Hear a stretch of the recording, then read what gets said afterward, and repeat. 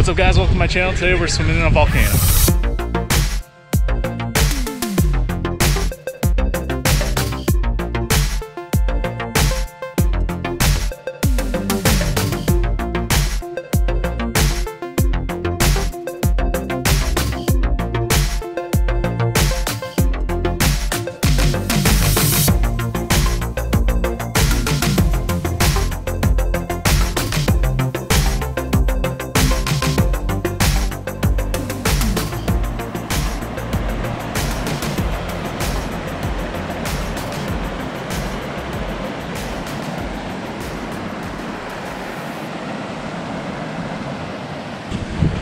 So on my way to Laurance Lake, I came across this little area right here, which opens up and you get a great view of uh, Mount Hood.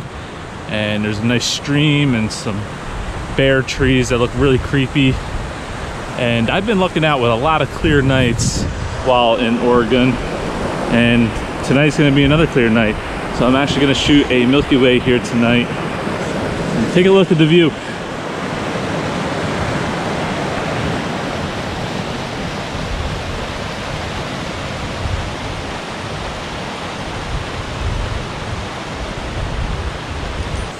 Yeah this place is gorgeous and i really want to fly the drone up this creek and get a great shot of the mountain but unfortunately this is a no-fly zone so i'm just going to be taking some still images and uh, i'm not going to be here that long because i have to wake up early tomorrow and head to painted hills. But uh, yeah i just want you guys to see the view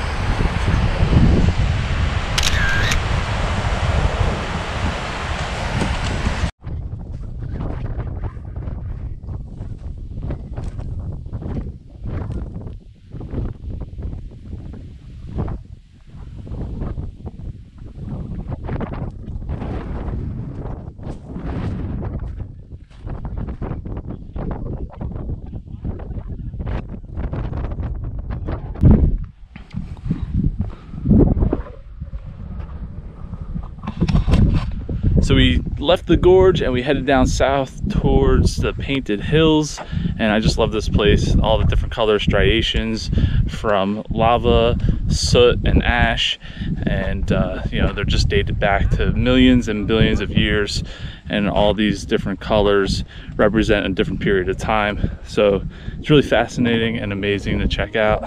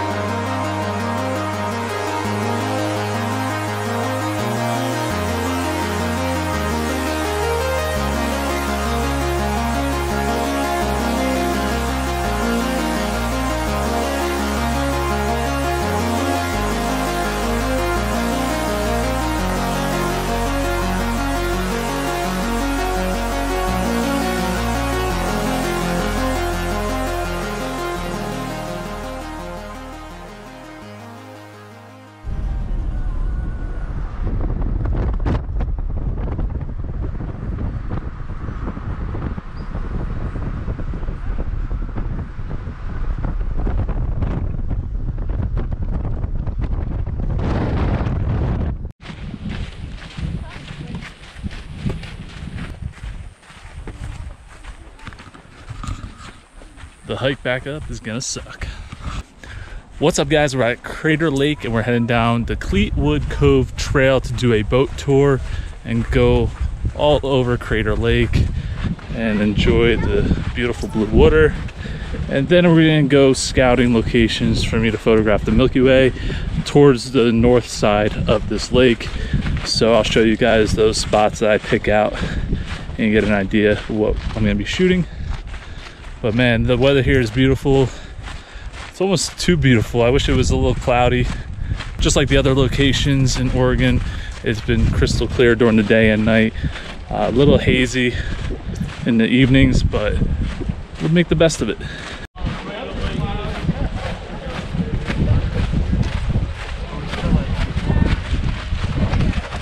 Six thousand one hundred feet. There's your boat. But once we go through that portal, you're going to see an elephant and a dragon drinking from the lake. You're going to see a, a ship that hasn't left port in over 400,000 years. Maybe we'll find an old man floating in the water. All kinds of mysteries lie ahead. So steady as we go here, and we're going to pick up the speed to our first mystery.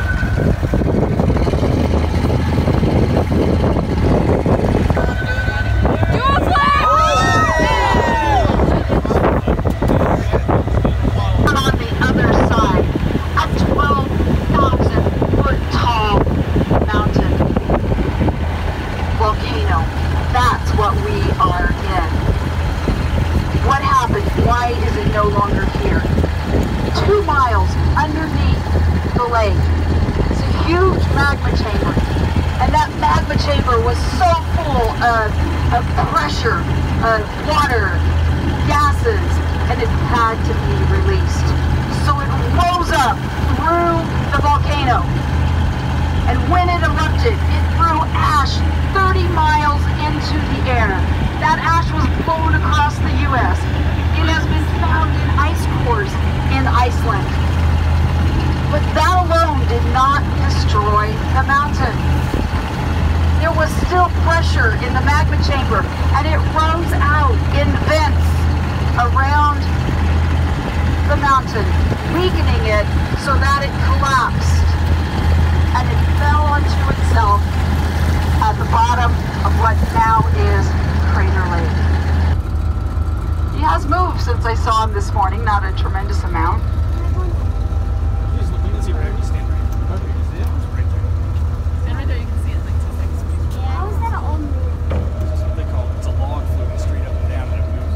Look right, look deep down into the water, and you might see the bottom of the old man.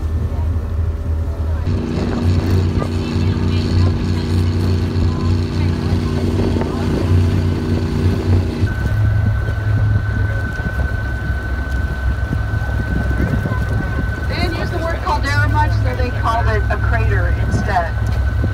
But we do have a crater, because if you look to the top of Wizard Island,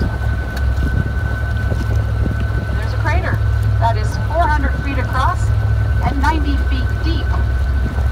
Wizard Island is a cinder cone that developed in three stages. And the part that connects with the caldera wall, we're going right over. It creates the shallowest part of Crater Lake. And those two first eruptions before the lake was filled with water.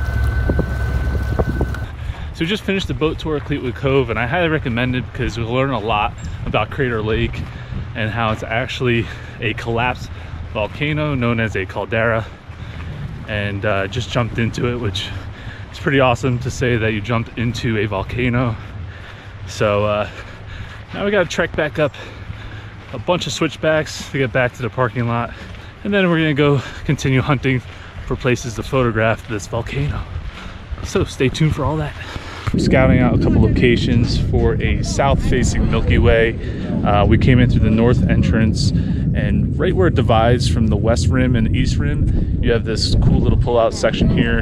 And there's a spot right where those girls are, if you could see them, right on that little rock formation right there. Right over there, I plan on shooting one of my Milky Way images. And then there's a really cool, creepy tree uh, about a minute up the road here going towards the west rim. So let's go to the other spot.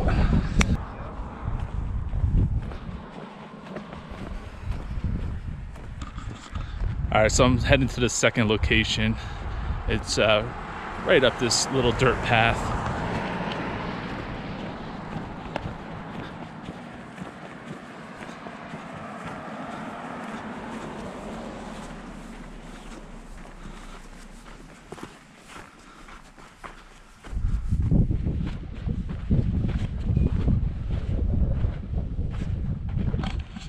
Look how blue that water is. It's amazing.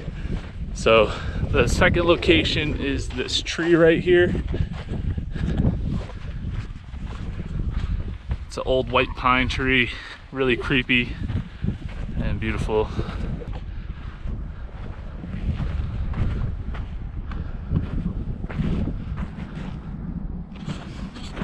So this is the second shot I plan on taking at Crater Lake. We got this old white pine tree, really creepy and beautiful Wizard Island. And the Milky Way should be roughly to the right of Wizard Island, somewhere in this vicinity right here. So that's gonna be the second shot. Again, I'm gonna be taking this around twilight.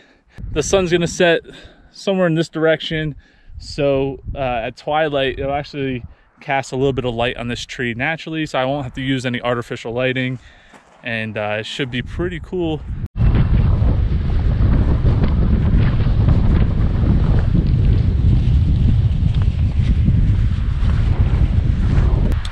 So it's a little windy over here, so it might be hard to hear me, but I'm heading back to the tree that I'm gonna use for my foreground.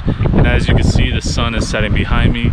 So um, I'm gonna wait till it gets a little darker and take my foreground shots, and then I'm gonna blend it with some tracked Milky Way shots afterwards. But uh, this way I get a nice clean foreground image.